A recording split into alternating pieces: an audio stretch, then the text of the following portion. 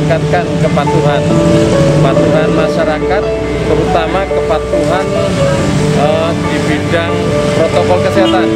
Protokol kesehatan supaya covid tidak berkembang. Dan juga kepatuhan terhadap uh, masyarakat terhadap tertib berlalu lintas. Ini semuanya untuk uh, cipta kondisi Natal dan Tahun Baru selama 14 hari. Kita laksanakan cara-cara bertindak dengan edukatif. Kita ingin mengajak masyarakat khususnya pemakai jalan itu disiplin yang permanen ya, permanen. Bukan disiplin yang instan dengan penegakan hukum, tetapi dengan langkah-langkah yang persuasif dan edukatif.